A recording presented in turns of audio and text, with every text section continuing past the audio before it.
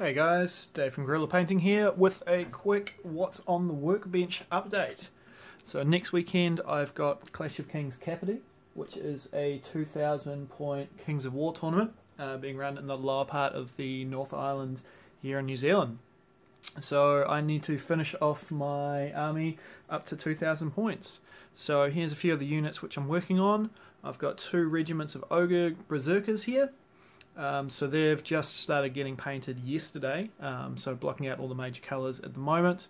Um, still another layer of highlights and stuff to do on the skin, um, and then once the base coats are complete, I'll be hitting those with a wash.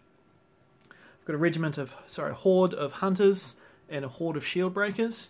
They're about 75-80% of the way through the painting process, so I just need to go back and pick out the highlights on all the metalwork uh, add a little bit of copper um, detail to them as well, and then they need to go onto their bases.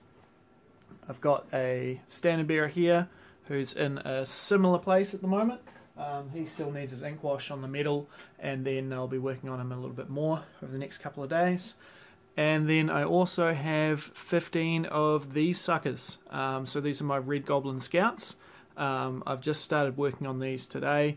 Um, just some quick airbrushing um, to get the base colours of the hides and then um, I'll be picking out the colours and having them with a wash and stuff. So there'll be a pretty quick job on these because I don't have a huge amount of time. Uh, seven days um, to finish these, 15 of these, and finish off the rest of the ogres.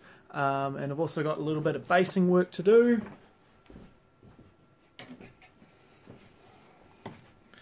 So here's one of my work in progress horde bases.